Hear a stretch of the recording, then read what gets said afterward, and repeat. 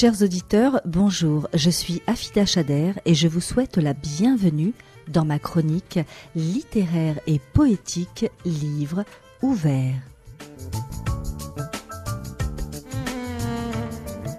Aujourd'hui, j'ai choisi de vous lire un poème de Paul Éluard tiré du livre La vie immédiate. Eugène Émile Paul Grindel, dit Paul Éluard, né à Saint-Denis le 14 décembre 1895. Sa mère est couturière, son père est directeur d'une agence immobilière. En 1908, sa famille s'installe à Paris.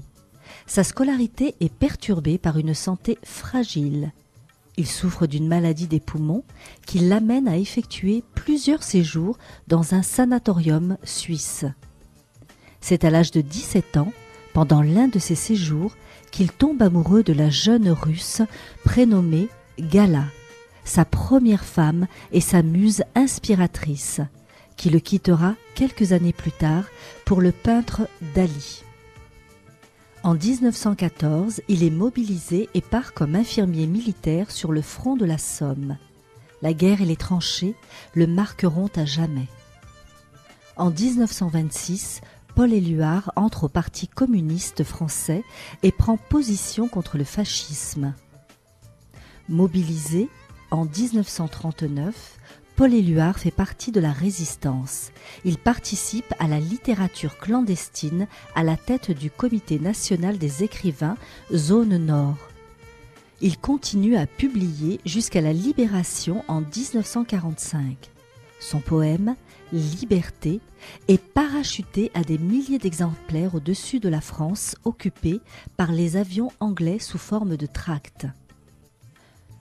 Paul Éluard meurt d'une crise cardiaque le 18 novembre 1952. Il est enterré au cimetière du Père-Lachaise à Paris.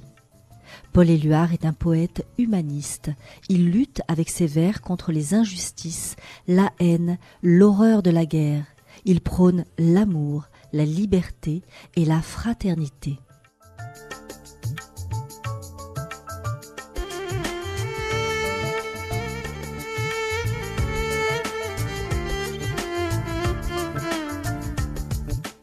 Aujourd'hui, j'ai choisi de vous lire un poème de Paul Éluard, Nuit partagée. Au terme d'un long voyage, je revois toujours ce corridor, cette taupe, cette ombre chaude à qui l'écume de mer prescrit des courants d'air purs comme de tout petits enfants.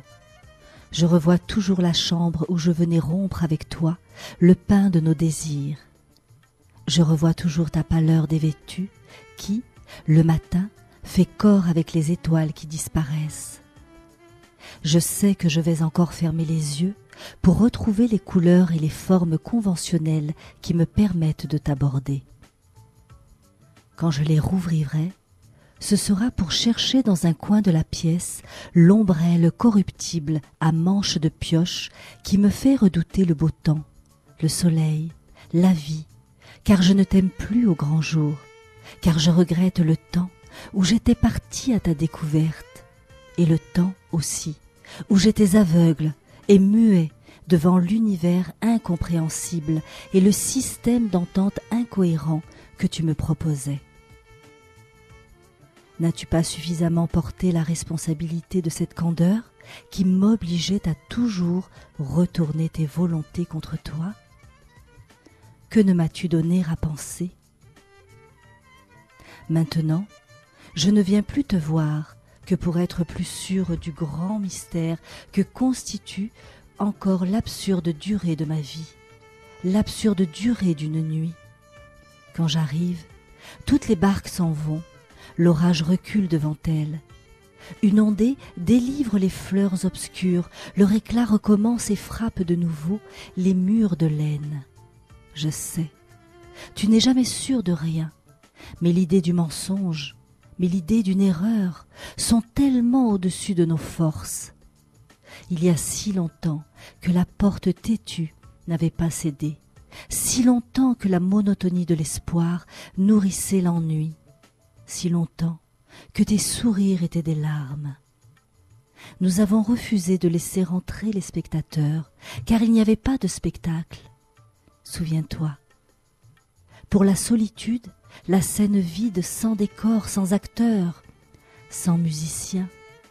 L'on dit le théâtre du monde, la scène mondiale, et nous deux. Nous ne savons plus ce que c'est, nous deux. J'insiste sur ces mots, car aux étapes de ces longs voyages que nous faisions séparément, je le sais maintenant, nous étions vraiment ensemble. Nous étions vraiment, nous étions nous. Ni toi, ni moi ne savions ajouter le temps qui nous avait séparés à ce temps pendant lequel nous étions réunis. Ni toi, ni moi ne savions l'en soustraire. Une ombre chacun, mais dans l'ombre, nous l'oublions. La lumière m'a pourtant donné de belles images, des négatifs de nos rencontres.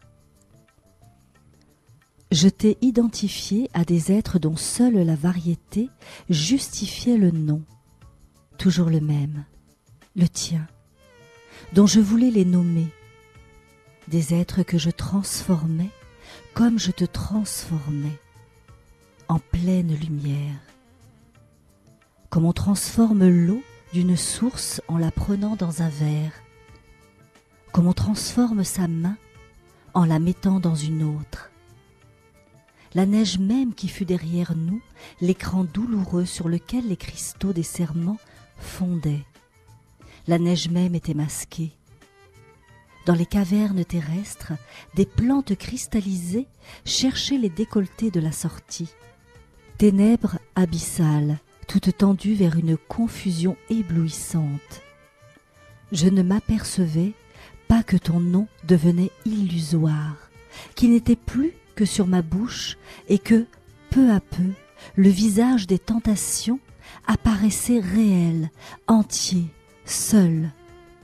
C'est alors que je me retournais vers toi, réunis chaque fois, à jamais réunis, ta voix comble tes yeux comme l'écho comble le ciel du soir. Je descends vers les rivages de ton apparence. Que dis-tu? Que tu n'as jamais cru être seul? Que tu n'as pas rêvé depuis que je t'ai vu? Que tu es comme une pierre que l'on casse pour avoir deux pierres plus belles que leur mère morte Les gerbes des saisons s'écroulent.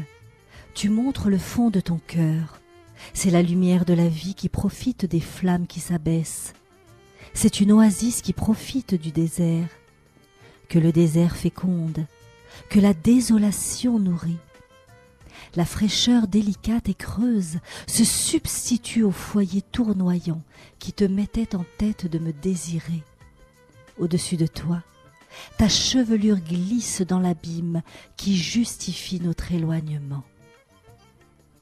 Nuit partagé de Paul Éluard.